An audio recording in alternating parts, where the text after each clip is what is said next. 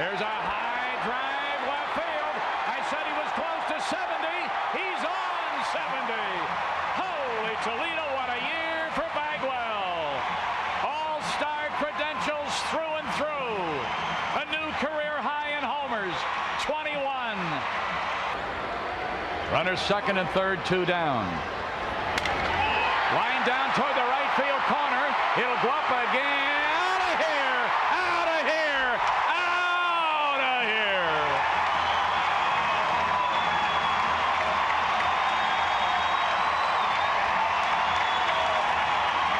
When you're hot, you're hot.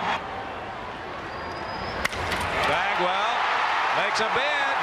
Could it be? Win at the wall. Three home runs in the game for Jeff Bagwell. What an unbelievable night for the Astros slugging first baseman. Three homers in his last three trips to the plate in this game.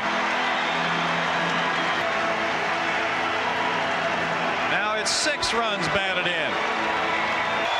They're not going to let him stay in that dugout. Yeah, There come on out. That a boy. What a performance.